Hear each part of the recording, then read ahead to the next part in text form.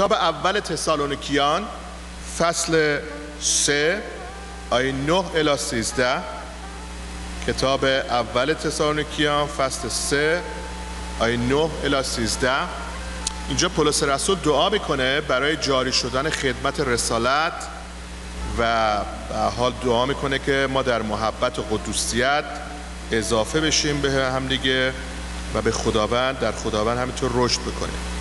من اولین دعا رو می‌خونم و بعد با همدیگه کلام خدا رو با هم مقایسه می‌کنیم. میگه ما با شکرانه این همه شادی که به خاطر شما در حضور خدای خود یافته ایم او را سپاسی به سزا می‌گوییم.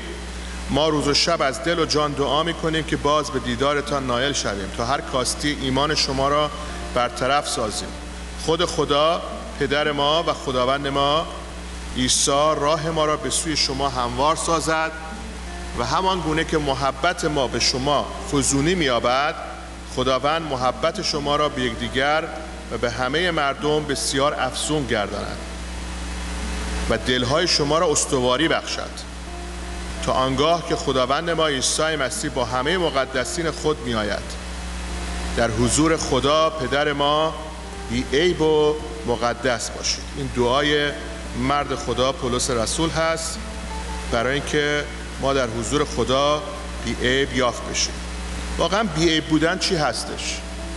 مگه میشه انسان رو زمین باشه و بی عیب باشه؟ ها؟ مگه پولس نمی‌دونه که همه ما ضعیفیم؟ پولس رسول جای دیگه میگه که من خودم ضعیفترین شخص هستم. خودش می‌دونه که قوت مسیح در ضعفهای او یافت میشه. ولی اینجا اشاره می‌کنه به چی؟ راجع به چی صحبت می‌کنه؟ آیا پولس فقط می‌خواد بگه من فروتن هستم؟ یا اینکه می‌دونه که ما انسان ها هر جا که باشیم احتیاج داریم که در خداوند رشد بکنیم آزاد بشیم. از آنچه که جسم میگه.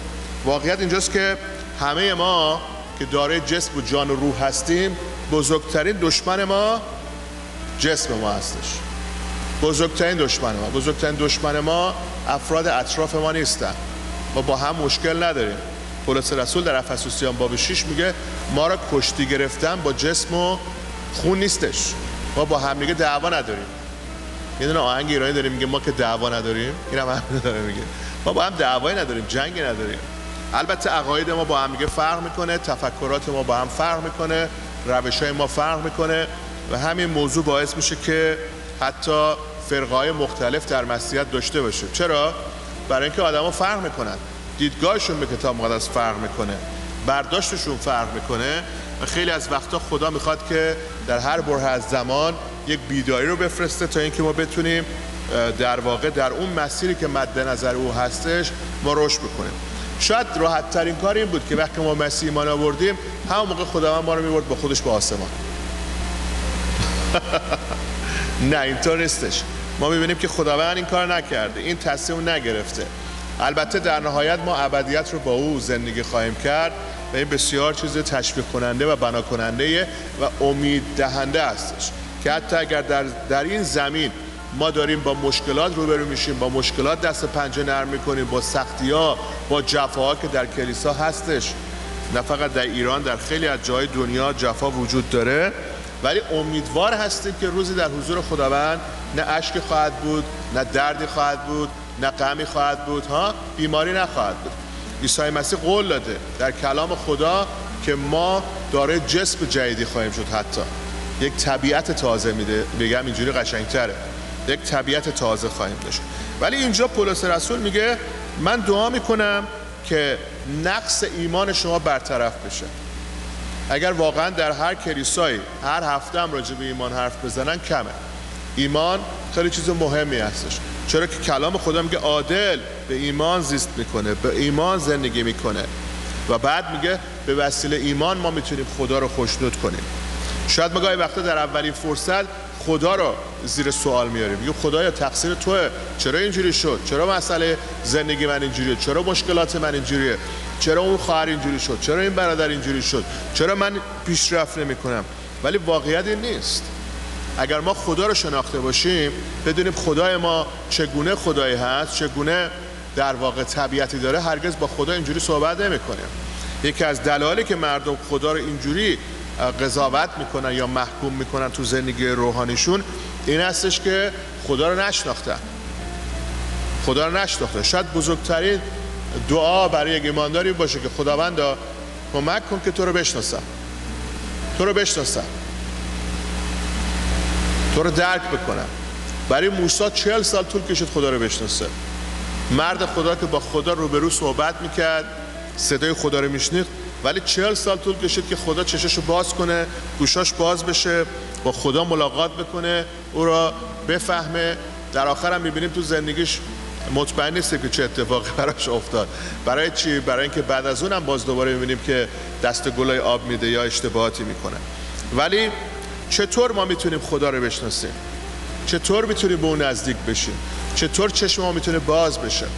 و چه رابطه ایش داره نزدیک شدن ما به خدا وقت سپری کردن ما با خدا و بی عیب شدن ما؟ بی عیب شدن ما. پولس دعا می‌کنه. اگه این شدنی نبود پولس دعا نمی‌کرد که خدای پدر دعا می‌کنم تا وقت آمدن عیسی مسیح که میاد مقدسی رو با خودش با آسامه بره شما تا اون موقع نزد خدای پدر بی عیب و مقدس بشید پس شدنیه. می‌تونه انسان از جلال به جلال بره از قدوسیت به قدوسیت بره. رشد بکنه در پاکی. رشد بکنه در ایمانش. اما چطور؟ و گاهی وقتا آدم افسوس می‌خوره. از این نظر ما میگیم خداوند تو شکر می‌کنیم در چنین عصری زندگی می‌کنیم. چون تو مقرر کردی که ما در چنین عصری به دنیا بیایم زندگی بکنیم حیات داشته باشیم. و این چیزی که در اطرافمون میگذره ببینیم و شاهدش باشیم نه منظورم جنگ ها و اتفاقا هست فقط حتی تکنولوژی و شیوه زندگی که این دنیا داره ما داریم می‌بینیم که خیلی ها شاید اصلا حدس نمی‌زنه هم چیزی پیش روی انسان باشه. مثل تکنولوژی مثل خیلی چیز دیگه. در چند لحظه شما می‌تونید در چند ساعت سوار بشید به هواپیما برید اون ور دنیا که اصلا فکرشو نمی‌کردی. ولی آدم وقتی نگاه می‌کنه می‌بینه چقدر در همین 100 سال پیش کمتر از 100 سال پیش چقدر مقدسین در ایمانشون در کلیساشون در خدمتشون شاهد خیلی چیزایی بودن که ما امروز نمی‌بینیم در کلیسا گاهی وقتا در زندگی روحانیمون شاید یکی از دلایلش اینه که اونا وقت بیشتری رو با خدا سپری می‌کردن. من دیده بودم مردان خدای و زنای که خیلی خدا دوست داشتن. همین چند سال پیش. چرا؟ چون با خدا وقت میگذاشتن. الان برای ما پنج دقیقه دعا کردن نیم ساعت دعا کردن یک ساعت دعا کردن کلام خوندن گاهی وقتا یه معجزه است. تو یه ساعت دعا می‌کنی مگه میشه هم چیزی؟ ولی اینا مردان زنانی بودن که شب تا صبح دعا می‌کردن. در همین کلیسای ایران که ما تاریخچه‌شو تا یه حد دیدیم در این چند سال گذشته تعریف می‌کرد و خود ما این کار کردیم که چطور ما شب تا صبح دعا می‌کردیم. و اون موقع بود که خدا این گونه خودش رو آشکار می‌کرد در جمع مقدسین و ایمانداراش در کلیسا. چرا؟ چون اونا به خدا نزدیک شده بودن. و در این نزدیک شدن به خدا بود که اینها از گناه فاصله می‌گرفتن. نمی‌تونی که به خدا نزدیک بشی ولی هنوز در عیب باشی. می‌تونی به خدا نزدیک بشی و نزدیک بشی و نزدیک بشی و از گناه فاصله بگیری. برده های که سودش من دوستم همیشه هم اشاره می‌کنم بهش در چنین موعظه‌ای میگه روزه با دعا میشکند مرا تا شبم شبیه عیسی. و او شکسته شد و شکسته شد و شکسته شد. و این اتفاق میفته پولس رسول میگه ما از شنیدن کلام خدا هستش که ایمانمون رشد می‌کنه و وقتی ایمانمون رشد می‌کنه و یعقوب میگه ما او رو زندگی می‌کنیم می‌تونیم در بی ای بی من معتقدم نمیگم به اونجا رسیدم چون می‌دونم که هنوز خیلی چیزا هست که باید در زندگی و شخصیت من روش کار بشه. ولی می‌دونم که هر چقدر بیشتر ما با خدا وقت بذاریم این اتفاق میفته تنها چیزی که خداوند لازمه واقعا دعای ما رو بشنوه در این روزها و من اقلا اینه که خداوند کمک کن که بیشتر در حضور تو باشم. کلام خدا به وسیله پتروس میگه اگه در زیر دست زوراور خدا دست خدا زوراوره ارمنی هم میگن زوراوره. دست زوراور خداوند. فروتن بشی خداوند تو رو بلندت می‌کنه.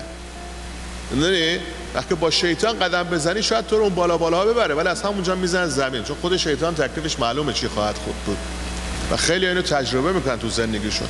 ما می‌بینیم تو این زندگی افرادی که گونه زندگی دارن با شیطان. ولی هر چقدر ما بیشتر در زیر دست زوراور خدا فروتنی می‌کنیم با خدا راه میریم. خداوند به ما فیض بده که ما بتونیم مثل او بشیم. سرود زیبای قدیمی فارسی از شبیت گردم شبیت گردم. منجی عزیز پاکم بساز. من دعا می‌کنم بعضی از این سرودار موزیک جدید بهش بذارم بچه ها دوستان و بخونن که بره دوباره تو کلیسه ها شبیهت گردم شبیهت گردم. منجی عزیز پاکم بساز. ادامه میده این سرود. پاکم بساز پاکم بساز. پس ما می‌تونیم شبیه عیسی بشیم و ما قراره که شبیه عیسی بشیم. ما اصلا اینطور خلق شدیم و چون گناهکار به دنیا آمدیم از پدر و مادر خودمون و از نسل گذاشته امروز گناه تو زندگی ما داره سلطنت می‌کنه که ما می‌تونیم به وسیله عیسی مسیح از اون فاصله بگیریم. چرا میگم سلطنت می‌کنه؟ چون ما بهش جا میدیم. پولس میگه شما می‌تونید از کلام خدا این ایمان رو داشته باشید که در مقابل شیع بیستید. یه آیه رو می‌خوام با هم نگاه کنیم. افسوسیان باب 6 6 16 البته این قسمت معروفه که راجع به اسلحه های روحانی هست. افسوسیان 6 16 ولی می‌خوام قسمت آخر آیه رو با هم نگاه کنیم. میگه افسون بر این همه. یعنی همه اسلحه های روحانی رو میگه ما این اسلحه ها رو داریم. میگه سپار ایمان را برگیرید. اینم می‌دونیم ما که چی بشه. می‌خوام روی این وایسم. تا بتوانید با آن به وسیله ایمان در واقع همه تیرهای آتشین آن شعر را خاموش کنید. تمام وسوسه هاشو خاموش کنید. ما می‌دونیم که وسوسه به خودی خود گناه نیست و دنیا پر از وسوسه است. ما در چشمون باز می‌کنیم وسوسه می‌بینیم و در اطراف خودمون فراوون هستن. ولی شما می‌تونید برای این وسوسه ها غلبه پیدا کنید. وسوسه وقتی تبدیل به گناه شد اون موقع چیزی که خداوند دوست نداره. تمپتیشن وسوسه. وقتی که ما به حضور خدا میریم این وسوسه ها در ما دیگه جایی ندارن. ما ببینیم که من می‌تونم بر اینا پیروز باشم. می‌تونم بر اینا غلبه بکنم. وقتی درک می‌کنیم که خداوند به ما این قدرت داده که بر وسوسه پیروز هستیم. می‌دونی؟ گاهی وقت ما فکر می‌کنیم نگاه کن وسوسه چقدر قوی تر از منه. من نمی‌تونم در مقابلش سکوت کنم. وسوسه این کار رو انجام دادن وسوسه این رو پذیرفتن. ولی کلام خدا ما میگه که ما به وسیله روح قدس قوت هر چیزو داریم که بتونیم حتی بر وسوسه ها پیروز بشیم. پولس دعا می‌کنه در حضور خدا پدر ما. ما در حضور خدا باید زندگی کنیم.